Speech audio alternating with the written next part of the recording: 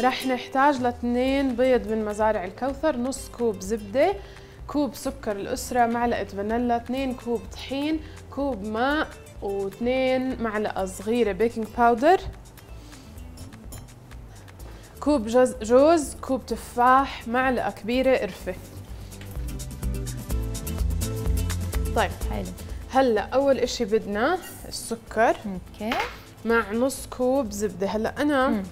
حأعير بهاي بس للاحتياط بس أنا عارفة إنه نص هاي الكمية. هيها. هاي نص كوب تمام. زبدة. okay. بدنا نخلطهم مع بعض. بعدين هاي الزبدة بدنا إياها لبعد شوي. okay. أول إشي نخلط الزبدة مع السكر عشان السكر يدوب. okay. تمام؟ هلا. أنا حابة أحكي لكل الأشخاص اللي حابين يقللوا من كمية الزبدة وكمية الزيت اللي بيعملوها بالبيت. آه. لما بدهم يعملوا كيك أو حلويات بيقدروا يستخدموا صلصة التفاح. صلصة التفاح ممكن تنباع بالسوبر ماركت بيكون مكتوب عليها صلصة التفاح أو ال apple sauce. هلأ يفضل إنه إحنا نحضرها بالبيت لأنه اللي بتكون جاهزة بتكون فيها كمية سكر عالية. أما لما بتكون إحنا محضرينها بالبيت بنقدر نتحكم بكمية السكر وممكن للأشخاص اللي بتعاني من السكري ممكن إنه إحنا ما نضيف عليها سكر ونعتمد بس على السكر الموجود بالفواكه اللي هو جاي من التفاح. كيف ممكن نعمل هاي الصلصة بالبيت؟ بنسلق التفاح ومن طبعا بنقطعه وبنسلقه وبعدين بنهرسه وبنخليه هون هاي الصلصة رح تخفف كثير من كمية الزيت وكمية الزبدة اللي إحنا بنستخدمها. يعني إذا كان عندنا بالوصفة واحد كوب من الزيت ممكن نحط نص كوب من الزيت ونحط الكمية الثانية من صلصة التفاح. شو رأيك يا شيف؟ 100% بنقدر نستخدمها؟ كمان لهاي الوصفة على فكرة دندون. مم. ليه أنا ضعت؟ آه بدي هذا الصحن Okay. أنا هون ضفت اثنين بيض والفانيلا. Okay. Okay بدي أخفقهم شوي بس على سرعة عالية. طيب بعدين عندي ال baking powder وال آه، والطحين. هلأ بدي أنخ... بدي أنخل الطحين عشان تنفش معي الكيك أكثر كيف بعمل هذا الإشي؟ ورقة زبدة.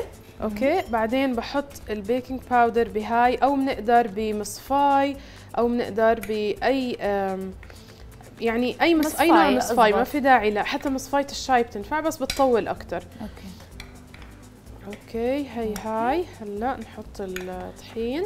طيب بدنا نرجع نذكر كل المشاهدين إنهم بيقدروا يتواصلوا معنا على رقمنا 06 566 50 55 وبيقدروا كمان يشاركوا معنا على صفحتنا على الفيسبوك على عمان TV official. بنصبح على عايشة بتقولنا صباح الورد. نضال مساء الخير لإلك. هيام مساء الخير. شيف أم هشام بتحكي لك أعطينا طريقة لل donuts تكون مهضومة وبتشهي. مهضومة وبتشهي. Next الأسبوع الجاي بنعمل وصفة دونت زاكية مقلية مش مم، معدانة مش يعني. خلص الأسبوع خلص. الجاي إن شاء الله. حلو. طيب أنا ليه عم بنخل الطحين كمان مرة؟ خلينا نحكي. عشان يدخل هواء بين الطحين وتنفش معي الكيك أكثر الطريقة بقدر أجيب هاي أو بقدر بأي مصفاي عندي بالبيت. وليه حطيت ورقة الزبدة؟ بس عشان تساعدني لما بدي أنقل الطحين على خلطة الكيك. الكيك. حلو. بس مش أكثر يعني هاي ورقة الزبدة م- ما نكبها هلأ. نرجع نضيفها ونقدر نستخدمها. بالضبط. ممتاز. بدنا نرجع نذكر كل ستات البيوت اللي حابين يجربوا وصفاتنا لليوم وما عندهم كل الأغراض بس بينزلوا ال application تبع دكانتي على ال App Store أو على الأندرويد وبيقدروا يوصلوا الأغراض وبيوصلوهم لباب البيت أو باب الشغل وين ما بتحبوا. فدكانتي سهلوا علينا كثير فجربوا وصفاتنا لليوم. بطل في عندهم حجة ما عندي ما. أغراض وما عندي تفاح وما عندي جوز. بيقدروا هيك يجربوا كل الوصفات. ما في حجة لولا شيء دكانتي كثير سهلوا علينا. آه، كثير أشياء صراحة. وبرجع بحكي لك كثير friendly user user تعاملهم. Yes. Okay. طيب هيك عندي الكيك جاهزة. عندي هون هلأ أنا عملتها دائرية. Okay. نقدر نعملها مستطيلة مربعة. أو بالقالب تبع الكيك. أو بقالب. الكيك المخزوق من النص. أو حتى مربعة. طلعت معي مرشحة عشان أو أم، حلو يلا. أيوه. أو شو اسمه cupcakes كمان muffins يعني بيطلعوا حلوين للشغل أو للمدرسة. طب هلا أنا عندي سؤال. آه. هلأ إحنا لما بنعمل بالبيت الكيكة تاعت التفاح التفاح بينزل لتحت. هيني شو جاي السبب؟ آه okay. هلأ في سببين. امم أول إشي كثافة الكيك غلط للمقادير يعني. دائما الكيك اللي فيها حشوه شوكولاتة حبيبات شوكولاتة لا أو هي هيك قرفة. أوكي هذا الكرات. هاي. امم منظرهم بشهي. أوكي بيكون مشكلة كثافة الكيك دندونة. يعني إيش بيكون ناقص؟ بتكون مرقة زيادة خلينا نحكي. أوكي. هدول بدي آه طبعا أنا. بضلني واقفة على كمية الطحين اللي بتنحط بالضبط. عشان هيك تطلع مرقة. فهلأ أنا هون ما بدي حتى لاحظتي إني ما خلطت. تمام.